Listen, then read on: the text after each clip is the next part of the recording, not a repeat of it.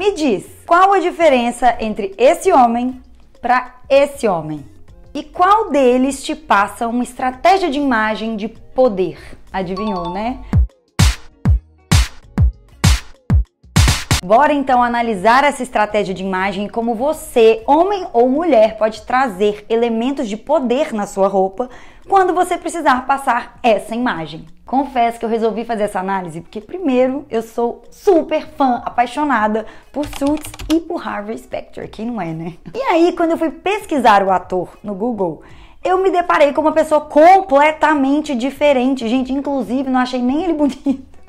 Porque justamente o que impacta no Harvey é toda a personalidade do personagem e também todos os elementos de imagem que compõem assim aquela coisa do personagem poderoso.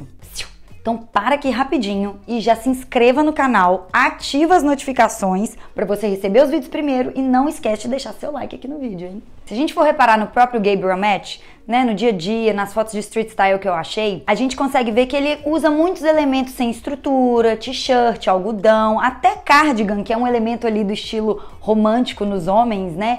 Geralmente sem estrutura. E mesmo quando ele tá de alfaiataria em alguma premiação, a gente repara que não é aquela alfaiataria ajustadíssima, super estruturada que o Harvey usa. Então, quais foram os elementos dessa estratégia de imagem que o Gabriel Macht e toda a equipe, né, produtores e os stylists da série trouxeram para trazer essa imagem de poder e que você também vai poder aprender. Bora lá, reparem. Primeiro o uso das cores, porque a primeira coisa que comunica na nossa imagem, a primeira coisa que chega ao olhar é a cor, então acerte na psicologia das cores certas para o seu objetivo. Ele sempre tá com tons mais fechados e tons mais sóbrios. O que, que são tons mais sóbrios? Cinza ao invés do vinho, que é mais quente, preto ao invés do azul marinho, que também é mais quente. Porque uma coisa que a gente estuda na estratégia de imagem é que quanto mais quente a cor, mais proximidade você traz, mais conexão.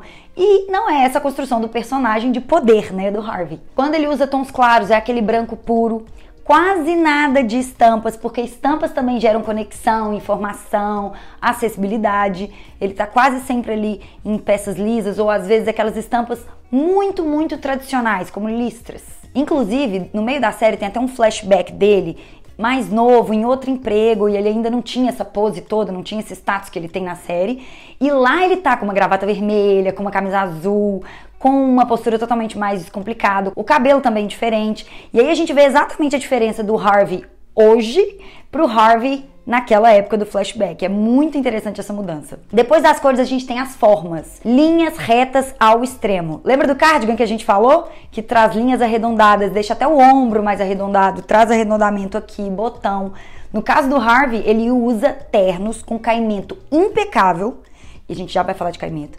Mas o caimento impecável, ele não deixa a peça arredondar no corpo. Então ele traz mais linhas retas. E também caimento e acabamento, tecido bom, aquele corte bem feito, aquele terno que a gente sabe que foi feito no alfaiate, por exemplo, também comunicam o perfeccionismo que tem a ver com a personalidade do Harvey também, né? Sempre intacto nas suas palavras.